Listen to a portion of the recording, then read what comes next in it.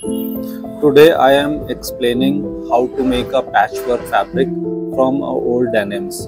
You can see how uh, we have to cut uh, the old denims and uh, seam allowance needs to be trimmed so that uh, thickness is uh, removed.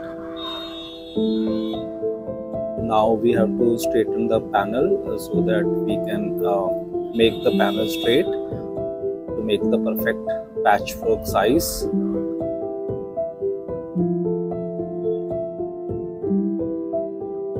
Now marking the sizes of the strips and now cutting the straight strips. Now A and B, there are two colors of uh, denims are being used so that we can make the check properly. So one, two, one, two. Now you can see uh, now is being cut vertically. Yeah, now is being stitched. One, two, one, two. Now you can see the patchwork is ready. Thanks for watching.